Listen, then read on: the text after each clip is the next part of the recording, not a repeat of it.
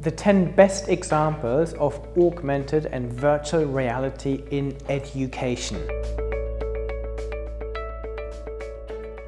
In my book Extended Reality in Practice, I look at how tools like augmented and virtual reality are being used across many different sectors. And one of these sectors we're looking at is education. So what I want to do in this video is to just give you my 10 favorite examples of how augmented and virtual reality is transforming education at the moment.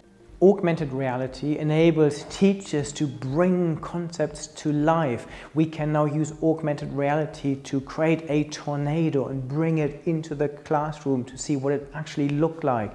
Or we can have a virtual beehive in the classroom and see how it works and we can dive into the beehive to see the inner workings of it. There are so many different examples of making education more immersive.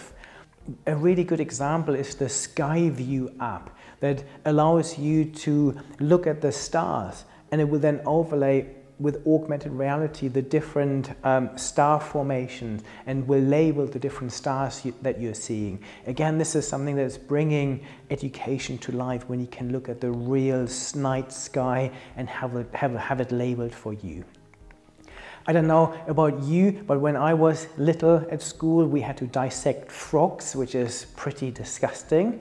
Um, basically to, to uh, teach us about the inner organs of, of animals. You can now do this virtually. So there's a Froggipedia app that en enables you to use augmented reality to dissect a frog virtually, which I think is such a better way of, of learning than actually using live frogs.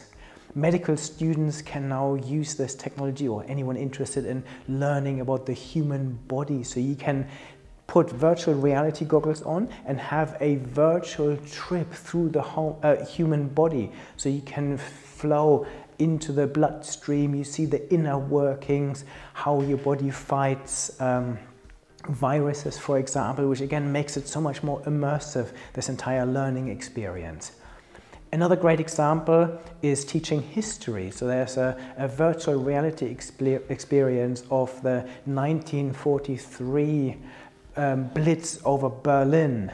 And again, this was this is using real life footage that was filmed on uh, UK bombers uh, flying over to Berlin. And again, you get a real insight of what, what it might have felt like to be part of this.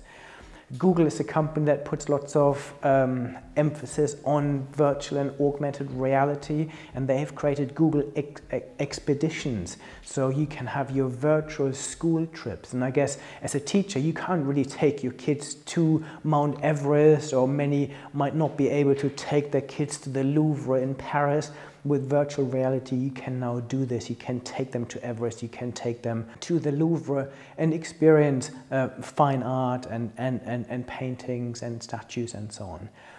Another really good example is virtual speech. This is an app that allows you to basically practice a speech in front of an audience. So again, you put your virtual reality goggles on and you can practice your presentations, making it very real um, police forces are now using um, virtual reality to train their police officers, especially for um, training them to deal with riots, for example, or when you have a, um, when you want to arrest someone in a specific setting, you can then uh, basically train for this exact operation in VR because you can recreate this and then people can actually train before they do it for real.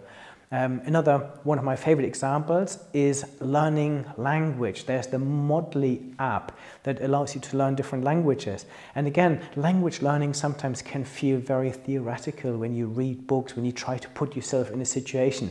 And in virtual reality, you can actually experience this for real. You can talk to real people ask, have real conversations in real settings, which again makes language learning much more immersive and much more powerful. So hopefully these are examples that get you excited about using augmented and virtual reality in education. If you want to learn more, subscribe to this channel. I've got lots of other videos on the topic or head to my website where you can find hundreds of articles on extended reality.